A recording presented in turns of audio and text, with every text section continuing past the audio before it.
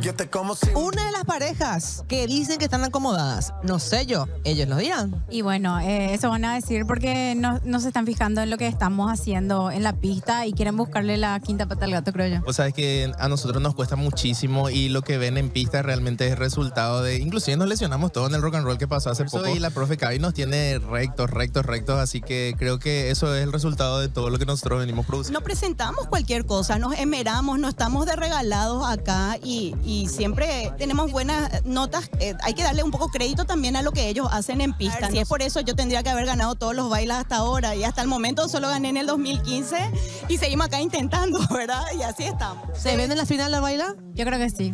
Sí, re, estamos luchando. Queremos demasiado. Dales ya me dijo, ya que se viene mi segunda.